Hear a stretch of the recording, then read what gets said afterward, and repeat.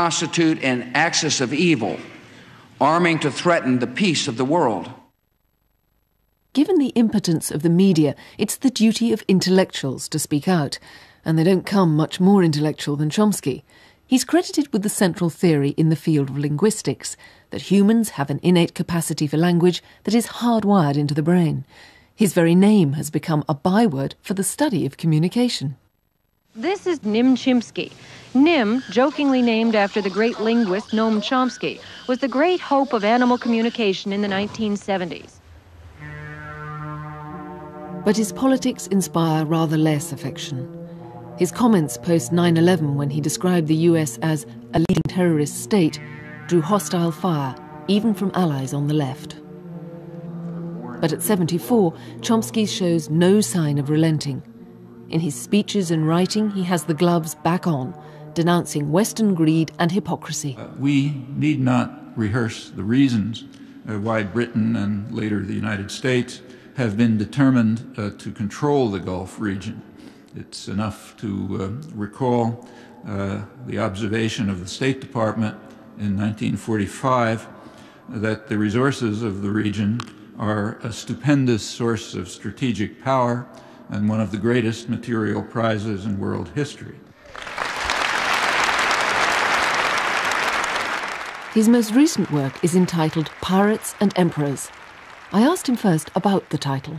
That's uh, plagiarized from uh, St. Augustine, who in the City of God has a story about uh, uh Alexander. Uh, his forces capture a pirate, and there's an audience between the pirate and the emperor.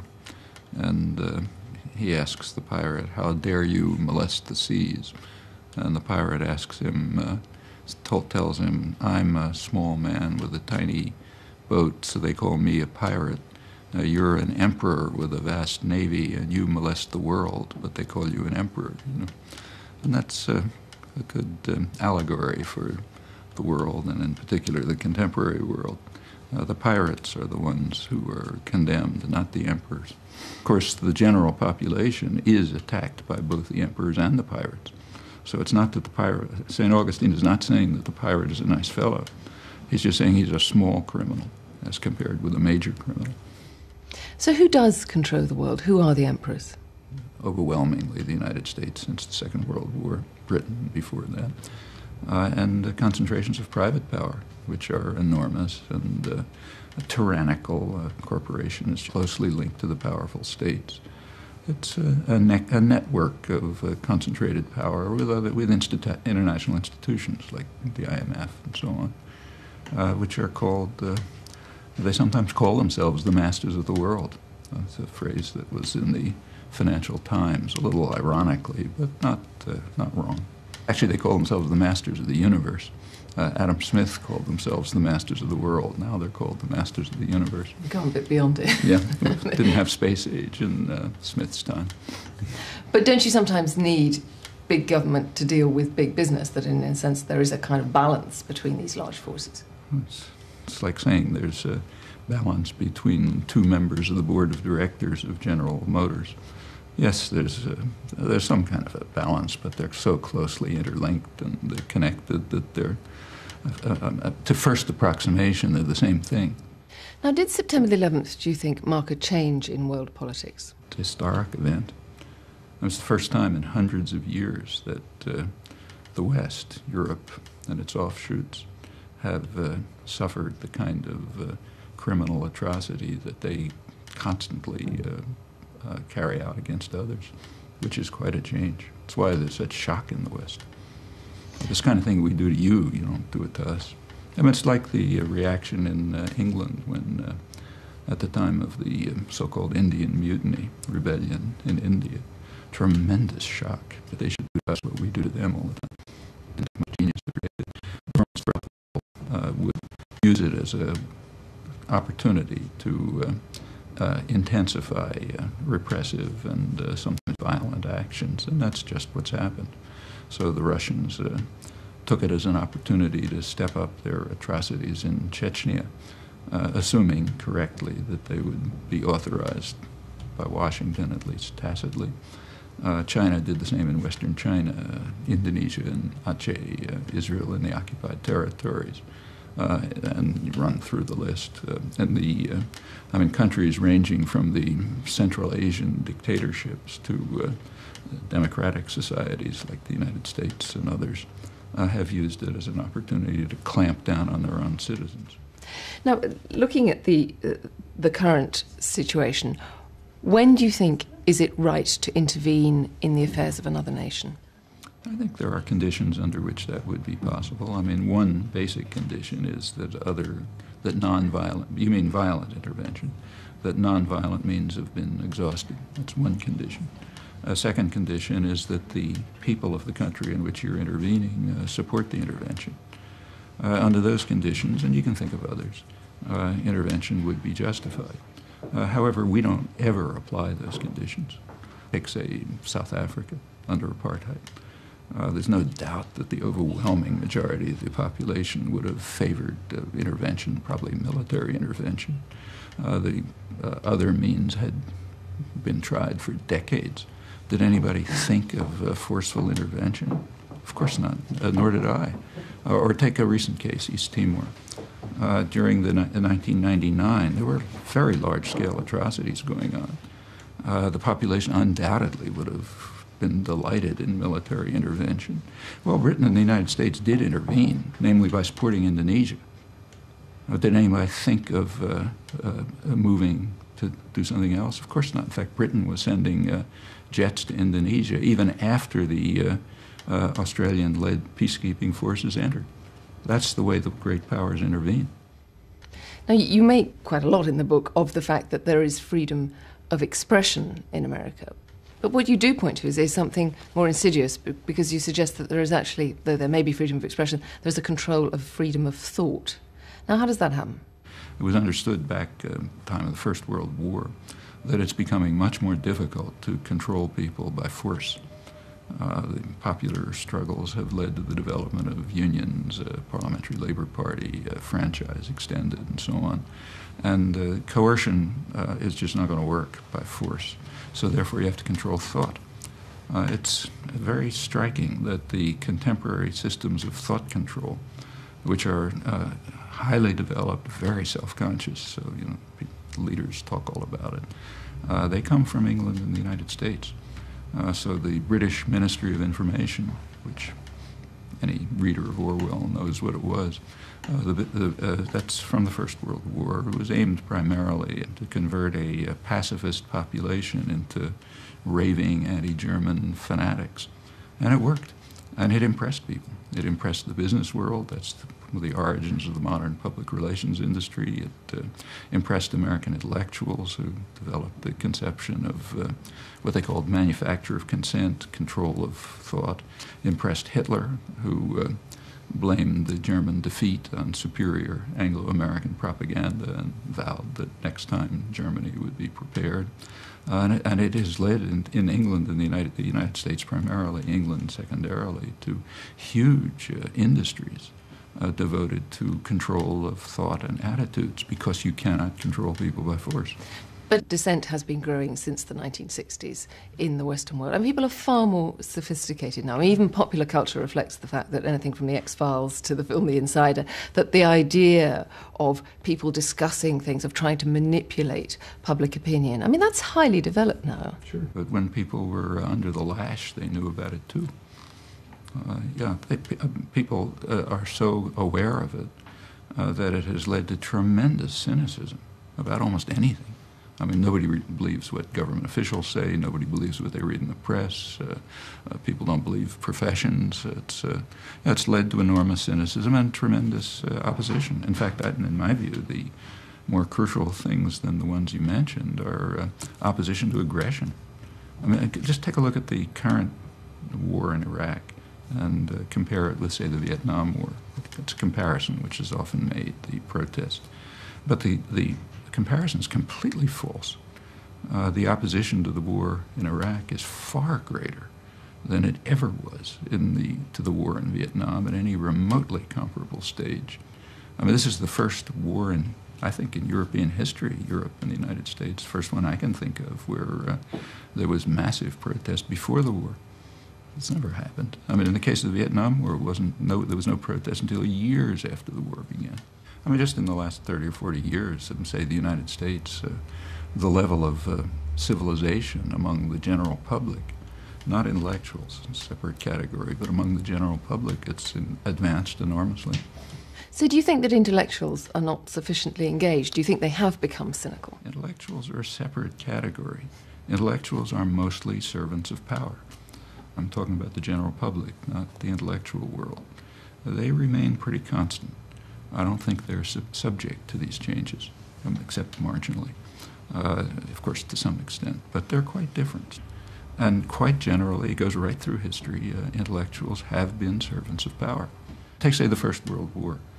Uh, on all sides, Germany, England, the United States, France, uh, intellectuals were extremely enthusiastic about the war. Uh, there were a few dissenters, and uh, the best known of them ended up in jail, uh, like Bertrand Russell, for example, or Eugene Debs in the United States, or Rosa Luxemburg in Germany. Very small group of critics, some of them best known imprisoned, uh, but most intellectuals were enthusiasts for their own country, and that's common, uh, and it remains common. I mean, intellectuals write history, so you have to be a little cautious about what they say about themselves. Uh, and it looks prettier when it's written in books. So, do you then think it's a failure of the left, then, in the United States, that if there is this um, feeling that, that a war is not right, that there isn't more action, more political action about it? Depends what you mean by the left. I mean, the left, what I mean by the left is out in the meeting with the public all the time, it's out in the streets. And so there are meetings of thousands of people. The, the biggest university in the country, the University of Texas, uh, came out with a strong anti-war uh, declaration. That's never happened in the past. Uh, you go to working class towns, and thousands of people show up for demonstrations and meetings. Uh, that's what I'd call the left.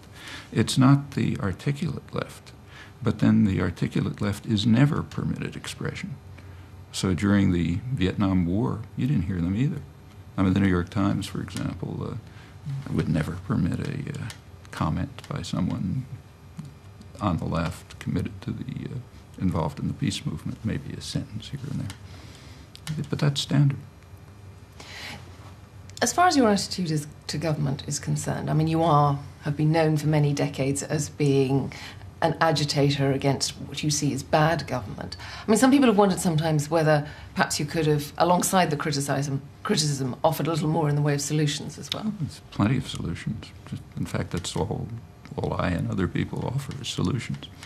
Uh, often the solutions are don't carry out crimes.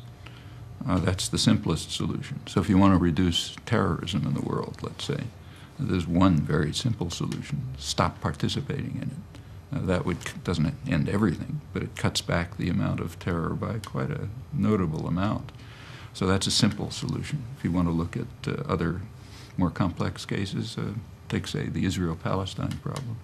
I think there's a solution, namely the one that the large majority of the American population support, uh, which happens to be the international consensus on a two-state settlement that the U.S. government rejects. Okay, so the, there's a solution for you. Let's just follow the will of the American population. Uh, and uh, go through the list. For example, on, uh, on, on, say, environmental issues, there's plenty of solutions. Uh, it's claimed that uh, what you say is correct. That's what's claimed by the intellectual world, that no solutions are offered by the critics. That's just nonsense. It's just they don't like the solutions. Since you first started in political activism in the 60s, do you feel that you have made a great deal of headway? I think the country has made a great deal of headway, and I'm happy to participate in it, but it's not traceable to individuals. I mean, these are mass popular movements and big changes in culture. It's across the board. If you go back to the 60s, for example, there was no feminist movement, there was no environmental movement, there were no third world solidarity movements, uh, there was no substantial anti nuclear movement, uh, no global justice movements. I mean, these are all developments of the last 20 or 30 years, and they come from all over the place. For example, the solidarity movements, which are quite un- um, unique.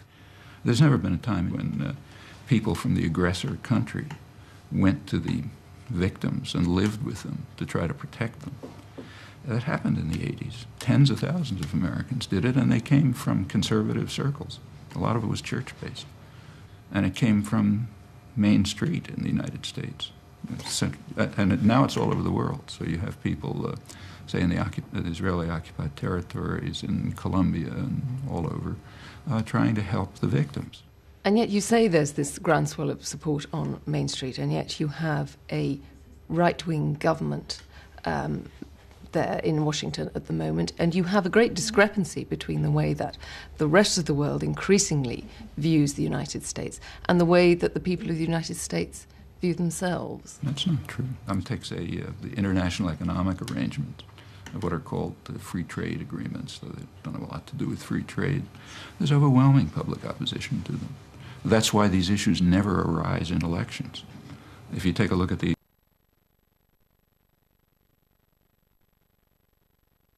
exclude issue, a certain category of issues, namely those on which the public is opposed to the elites.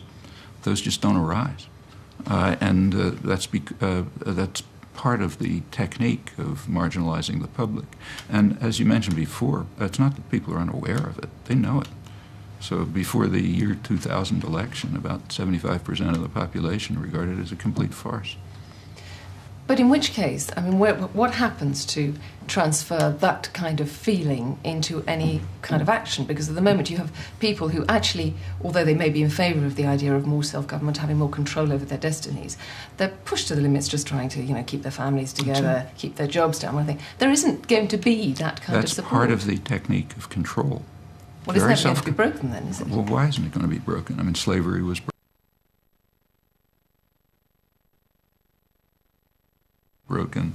Uh, you look over history, one after another form of coercion and control has been broken.